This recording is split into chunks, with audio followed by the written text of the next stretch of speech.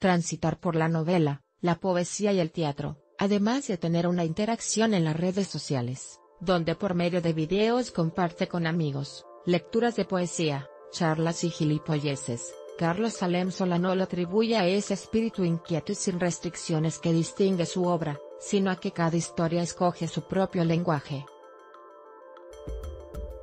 Así lo manifiesta el escritor, poeta y periodista en entrevista con Organización Editorial Mexicana, OEM, a quien por su irreverencia y libertad escrita lo han llamado el Sabina de la literatura. Al respecto, el escritor nacido en Argentina, pero que con residencia en España, actualmente vive en Madrid, confirma que las etiquetas son algo que lo tienen sin cuidado. La gente lo hace con cariño y yo encantado, pero en el fondo no le veo mucho caso en que se hagan este tipo de relaciones, aunque Sabina nos ha inspirado a todos. También hay una parte Bukowski y tal vez de Benedetti en lo que escribo, pero lo cierto es que yo tengo mi propia identidad.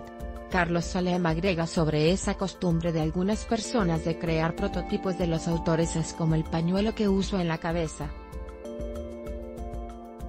Es porque tenía el cabello largo, luego me afeité la cabeza. Conseguí metros de tela para protegerme del frío, pero si voy a un lugar cálido me lo quito.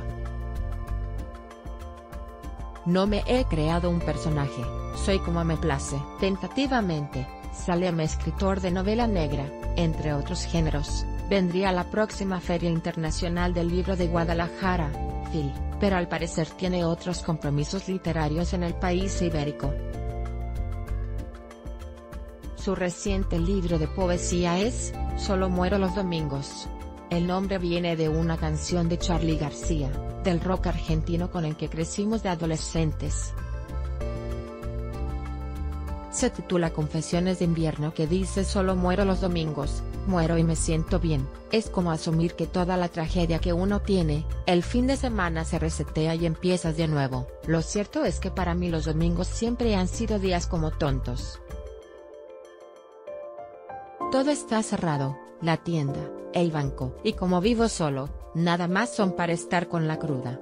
En cuanto al contenido de dicha publicación, el autor señala que el 50% basados en experiencias de amor y otros, en ideales, donde te planteas lo que deseas en una relación, como decir quiero que vueles todo lo que puedas volar, que sea tu meta recuerdes que yo duermo con la ventana abierta, si quieres ser libre uno tiene que dejar ser libre, eso es lo correcto y no lo hago como cuestión de moraleja, porque estos mensajes llegan a muchos jóvenes y como soy un inmaduro, que bueno transmitirles lo que implica la libertad en una pareja, mejor que decir, la maté porque era mía.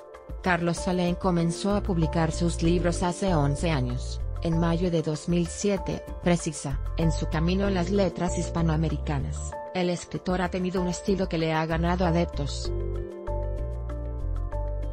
Con esa actitud desprovista de formalismos, comenta cuáles son los desafíos a los que se enfrenta como creador de ficciones.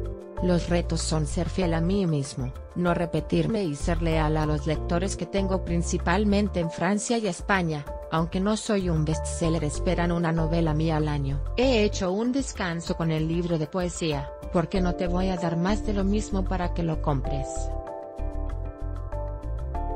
Abunda sobre su estilo, con ese acento mezclado entre argentino y español, yo tengo mis propias premisas para escribir. En mis historias hay humor. No me voy al terror y a magnificar el mal, pero sí a entenderlo. Hay poesía, el erotismo como parte de la vida. La novela no se encuentra obligada a nada, es para que la gente viaje y mire el mundo. En ese sentido, reconoce que en gustos se rompen géneros. Aceptó que leyó 50 sombras de Grey para hablar mal de algo. Es la historia de una chica que es independiente y luego conoce a un millonario.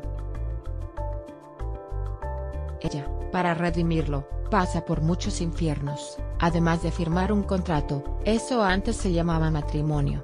En cuanto a ir de la poesía a la novela negra, Salem explica, es como hacer periodismo, es la mejor escuela para un autor porque te quitas esa tontería de la página en blanco y con la poesía es lo mismo, una trama que no tenga lirismo, no te va a enganchar, debe existir una poética en la manera de contar las cosas. El por qué se decidió por el oficio narrativo, el autor de Un jamón calibre 45, cuenta, pasé todas las enfermedades de niño, mi madre para tenerme quieto me leía cuentos, siempre leí mucho y quise ser novelista, la televisión y los bestsellers no me llenaban. Así que el germen de escribir siempre estuvo latente. La temática que escoges siempre es sobre cosas de tu vida, que aderezas con ficción. El escritor narra que escogió el género de la novela negra porque siempre le gustaron estas historias, y desde su primer libro consiguió el reconocimiento pero señala que no le gusta ser encasillado debido a que las etiquetas son el error de nuestro siglo las pone para que la gente no tenga elección. Lo bueno es que no se pegan sobre el sudor, ni las lágrimas, que te provoca hacer una historia.